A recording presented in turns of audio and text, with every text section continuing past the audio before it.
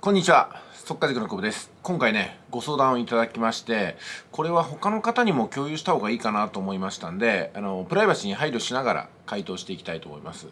まずいただいたご質問なんですけども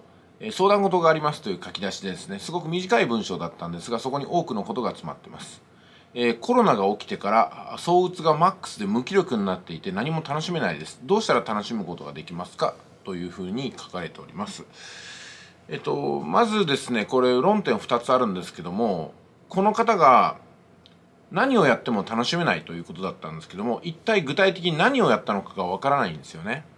例えばこれをやったら楽しいんじゃないですか？って私がアドバイスしたところそれはもうやったんですって言われるかもしれないので、え何をやってきたのか？それとも何もやらずに何をやっても楽しめないっていうふうに先入観で言っちゃってるのかこの辺からちょっとね話を進めていかないといけないかなと。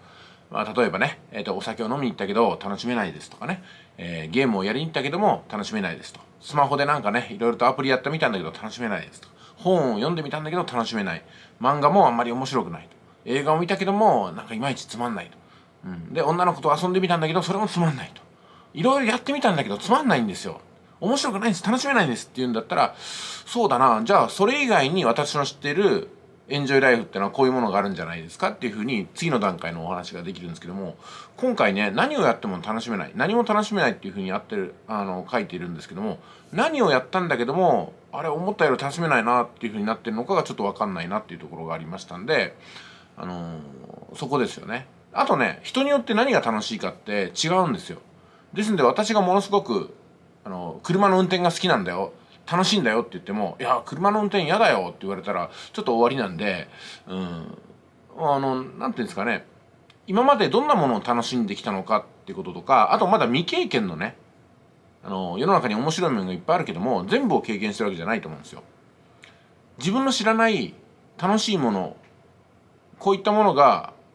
あるんだけども、試したことはないんですっていうふうなご相談だと、あそれは私の感覚だったらこうですよとかね。それにはこのぐらいのコストと時間かかりますよみたいな個別具体的なあのご相談、えー、返信ができるかなと思うんですね、まあ、ですのでそういうふうにお話しいただけると非常に助かりますということでございます。でもう一つなんですけども、えー、コロナが起きてから鬱になったということだったんですけどもいや実際にコロナによってねどんな被害を受けたのかってことを冷静に考えてみると基本的にほとんどの人はないはずなんですよ。ね、ないと言ったら多分語弊があると思いますけどまずはないというふうに言わせていただきます。でコロナによって何かの被害を受けたっていうのはね実際自分が重篤化しちゃったとかね自分の身内がコロナによって非常に不自由な生活死んでしまったとかねそういったものがあれば確かにコロナによって被害を受けたと言えるんですよ。でもその他のコロナによっての被害っていうのは多分ねテレビのニュースを見過ぎたりとか人のコロナが怖いって言ってるのを真に受けちゃったりとかして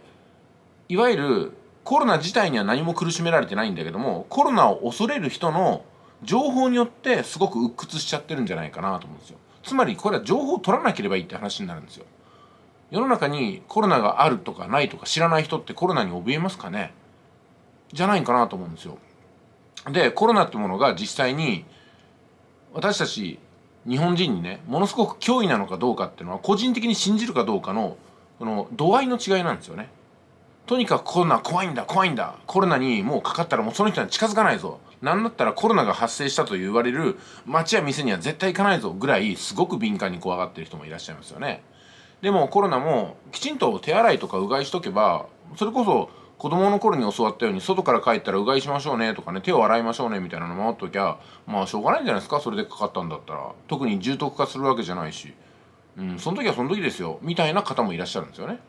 あとは飛行機に乗る時ですら「いやあんなコロナとか関係ねえよマスク別に義務でも何でもないんだからしないよ」って言ってねバッシング受ける人もいるわけですよね、うん、だからねコロナが本当に自分に対してどんな脅威を向けてるのかってことを冷静に考えたらあれ？案外何もないんじゃないかなってことに気づくと思うんですよ。つまりは同調圧力とか集団催眠によってとにかくコロナは怖いもんなんだ1ミリでもコロナっていうのが近づけない方がいいんだっていうふうにガチガチになっちゃうと本当にね頭痛くなっちゃうんじゃないかなと思いますけども実際にじゃあねあのコロナになったからといってほとんどの方は無症状です。症状がある方でもほとんどの方は軽症です。ね。本当に一部の一部の一部の方が重篤化してるわけなんです。そしてそのさらに一部の方で寿命とかが来たりえっと、基礎疾患がしてる来てる方にとっては命の脅威もあるってことなんですけどもそれはねはっきり言ってインフルエンザも命の脅威になりますし、えー、なんかねその辺で突っ転んでももう基礎疾患があったりとか普段から体が弱くなっちゃってるねご老人に関しましては転んでもね死んでしまうとかね餅を食べても死んでしまうとかねうん、そういうこともあるわけですからじゃあコロナが特別怖いのかなって冷静に考えたら私の判断では確かに侮ることはできないけども一番に恐れるものではありませんよっていう話になります。じゃあ毎日運転をしているバスの運転手さんそれからタクシーの運転手さん一般のドライバーさん自動車事故の死亡率は多分一番高いんじゃないですかね。じゃあ一番恐れないといけないものを毎日ね運転していて怖くないんですか？って言ったら怖くないって言うんですよね。でもその怖くないよ怖くないよっていう人のうちで最も死亡率が高いものが構成されていてしかもね全員揃って保険にまで入ってるわけでしょ、強制保険任意保険に入ってますよね。でもコロナ保険に入ってる人って何でいないんですかってことなんですよ。だってコロナが怖いんでしょ。怖いのになんでねコロナ保険にも入らずに怖い怖いって言ってるんですか。運転する人はみんな強制的に保険も入らされるしそれじゃ足りないっていうんであの月間で1万とか2万する保険にも入ってますよって話なんですよね。だからこういうふうなことを考えていると本当にこれ理論理屈ですけどね。理屈で考えると大したことはないよねってことになりますただ感情的には何を恐れるかみんなそれぞれ違うんで怖いっていう判断があるのも確かですしそういったコロナの雰囲気がある中でなんとなくね圧迫感を感じてだからこそ何も楽しめないっていうふうになっちゃうロジックもわかるんですよね。つまりは自分のその心理を誰が操ってるのかってことですよね自分じゃなくって周りの人に操られちゃってるのか自分で自分の精神をコントロールしてるのかってことになりますけどもやっぱり何がしかのね、えーと、精神的な疾患になっちゃうと自分の精神を自分ではコントロールできずに周りの人がこういったああいったにすごく左右されたりね、えー、見たものとか聞いたものによってものすごく影響を受けちゃうっていうのは十分わかるんですよ。だから余計に思います。自分が楽しくなるものとか嬉しくなるものとか気持ちよくなるものばかりを見て聞いて感じて触れていけば全ての問題はだんだん柔らかくなっていくんじゃないかなと思うんですよ。ですので自分の心の中のね暗い部分にいつも目を向けたりとか何か良くないことが起きたらそれに対して怒りを向けたりとかね辛い過去を思い出したりとかするとそれは面白くなくなりますんで常に頭の中目で見えるもの耳で聞こえるもの触るものは自分にとって心地の良いものばかりにするといいんじゃないかなと思います美味しいものを食べてみるっていうのもいいんじゃないですかね、うん、今私ね冷凍の加藤吉うどんを解凍して食べたんですけども加藤吉うどんってほら5個つづりで198円ぐらいでしょ？安いわけですよ。でもすごくね美味しくってあったかくて満たされましたね、うん、食べながらねどういうふうに回答したらいいかなというふうに考えていたんですけども今回のアドバイスいかがだったでしょうか？まあいささか無責任な回答にも思いますけどもそういう気持ちで私はいつも自分の精神状態をね保ってますんで、まあ、私にとっては今日お話した考え方っていうのは大正解だったかなと思います。ただ人によってはどんな回答がしっくりくるのかっていうのは違いますんで、えー、的外れに感じた方がいればそれはもう申し訳なかったかなと私への